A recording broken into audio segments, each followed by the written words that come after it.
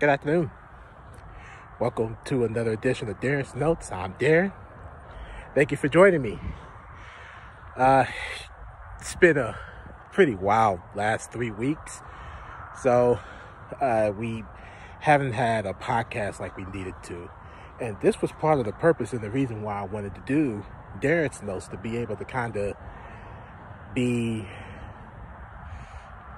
uh, more up to date with the podcast when we don't have recordings.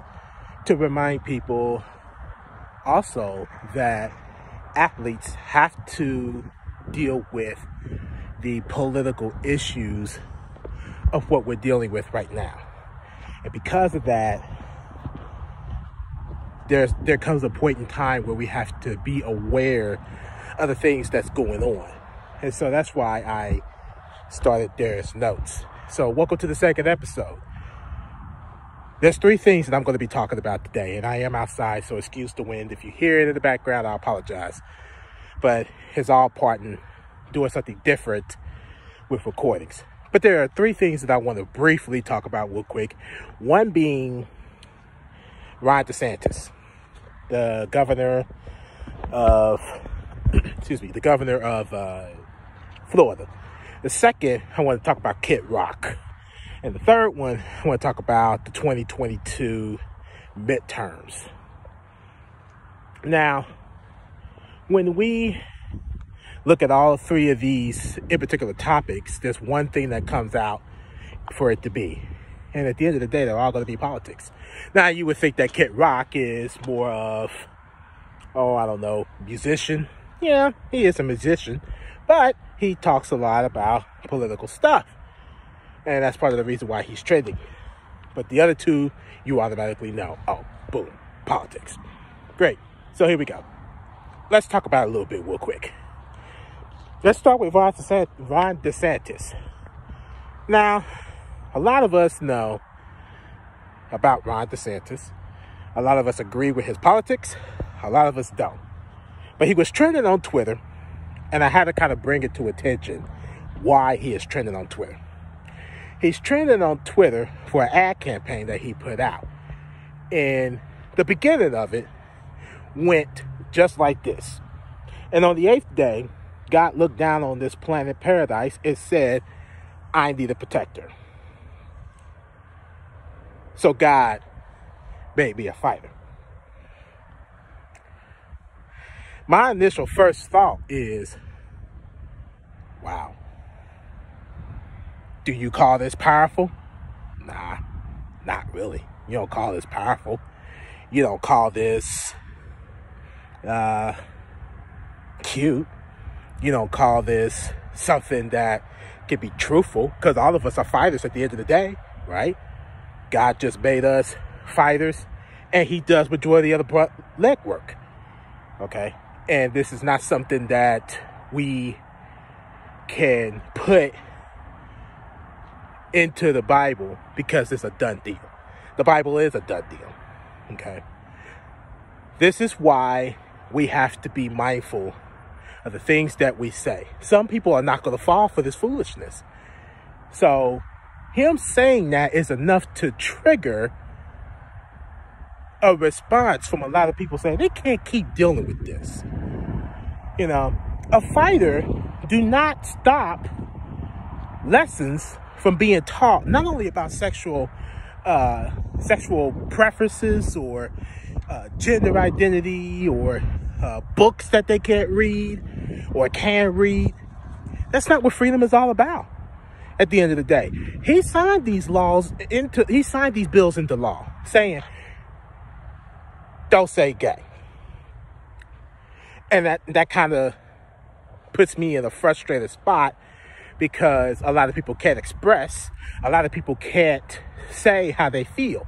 Now, you go back into, you know, religion, this is what Christians, this is what Catholics, this is what people, majority of, of all uh, religions are, are fighting for to say that some things just should not happen. But at the end of the day, not everybody's going to believe in what we believe in. A lot of people are not going to waste their time on something that you know damn well they're not going to spend wasting time on. So why keep going to restrict something that people can't or won't do? Okay. So now you just have to think about it and how how to be able to, you know, come about and make a, a, a wise decision. Because at the end of the day, there is so much about him, my personal opinion, that just do not qualify him to be in office. It just don't. So I can understand that a lot of people have their opinions, a lot of people have their reasoning, but you just can't be somebody to think that this is okay. Okay. Everybody has their freedom, to be able to do what they need to do, what they want to do, how they want to do it, when they want to do it, without having a law stop them, all because they don't understand what freedom is at the end of the day. Second thing I want to briefly talk about is Kid Rock. He said that Oprah's a fraud. Okay, Oprah's a fraud. What Oprah is a fraud for? Apparently, according to the trending Twitter topic, he is blasting him, blasting Oprah for uh, for uh, endorsing Fetterman over Dr. Oz. Now, when Oprah helped Dr. Oz with his success, it was about him being a doctor. It wasn't about politics. So their working relationship in, in order for them to be successful was all about him being a doctor. It was not about politics. She do not have to endorse him. She don't need to endorse him. What she believes in as a politician don't have absolutely nothing to do with their working relationship as him being successful as a doctor. See, these are the small things that people look at on the bad side versus the good side. You know, Oprah did help him. What's the credit in that? Ain't nobody giving, giving her credit for that. But I guarantee you she ain't losing no damn sleep over it. I tell you that much. She ain't losing that much sleep about that. She ain't gonna lose sleep about people saying, oh, she adores Fetterman over Dr. Oz. She ain't losing sleep at the fact that she believes in what she believes in. She ain't losing sleep over that at the end of the day. So what did she, what did she do? She went with what she believed in, and now people are knocking her for it. Now, Kid Rock is just pretty much, to me, just causing trouble. Okay, cool. Do what you do. But at the end of the day, you wouldn't want nobody making trouble for you, too. For being a Trump supporter. For being somebody that could be just as hateful as Trump. If you want my God honest opinion. But that's none of my business. And the last thing I want to get into real quick, just real quick, is I just want to talk about the 2022 midterm, midterm elections. Now, we all know that this is coming up. It's on Tuesday, and it's definitely a trendy topic. And it's just something to, to kind of just bring up. Now, there's a lot of things on the ballot being democracy, abortions. And I was just talking about this a little while ago.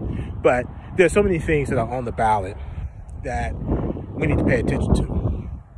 That we need to understand what, you know, Republicans and Democrats are trying to secede on. Social Security. You know, I'm concerned about a lot of the things that are on the ballot and what's going to happen, especially mainly with abortions and Social Security. Abortions being that a woman cannot make her own decisions.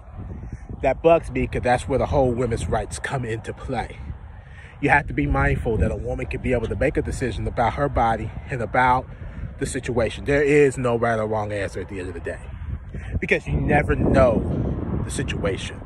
Sure, there may be some uh, not wise decisions, but at the end of the day, again, we're all not perfect.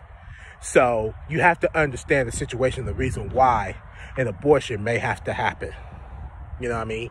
It's not about you know, what you believe in. It's not about uh, uh, religion or anything like that. You just have to be mindful of what you're dealing with. You have to be careful with these types of ordeals. And that bugs me. And a lot of people are for that, to say that there should be no abortions. If there was no abortions, you can only imagine, and I hate to say this, but I'm going to say it. You can only imagine how many politicians are going to try to cover it up anyway and still try to abort when they make a mistake. Okay. That's the biggest thing to remember. There, there is a lot of issues that are going on that most people do not understand. a lot of these politicians are just going out because they just desperate or they find somebody attractive and they just wish to just do what they do and want to do and think they're privileged and not going to get in trouble. But want to hold everybody else accountable when they should be being held accountable on their own. Social Security is another thing. As much as we worked hard for Social Security, why take that away from us? Why take it away for so many people that has, especially for my ancestors, that has really worked so hard on bending knee, every backache, hands, feet, every bone in your body that you work so hard for, why would you take Social Security away? So I always wondered that. Why would you do that? There's a lot of things on the ballot for the 2022 midterm elections. Think about it. Be mindful of your thoughts. Be mindful of other people's thoughts, but also at the same time, be educated about it before it start running off with your mouth about things that you have no business running your mouth about, especially if you're not in a place to say it. Thank you for watching. I'm your host, Darren Watts. Uh, catch me next time as I go into episode three. Trending topics as always. Remember that athletes have to deal with this very same thing every single day. Don't kid yourself if you don't think an athlete has to deal with these issues. Next week, well, next time, we'll talk more about the different trending topics that affects not only public figures, athletes, but people like us. Thanks for listening.